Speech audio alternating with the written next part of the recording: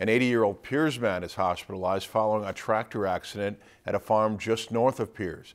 The Morrison County Sheriff's Office says Robert Hapke was standing on a mixer when the tractor started to move, causing him to fall off. Hapke was then run over by the tractor.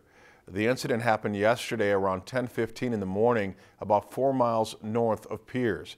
Hapke was transported to St. Gabriel's Hospital by ambulance and later airlifted to St. Cloud Hospital, where his condition is not known. If you've enjoyed this segment of Lakeland News, please consider making a tax-deductible contribution to Lakeland Public Television.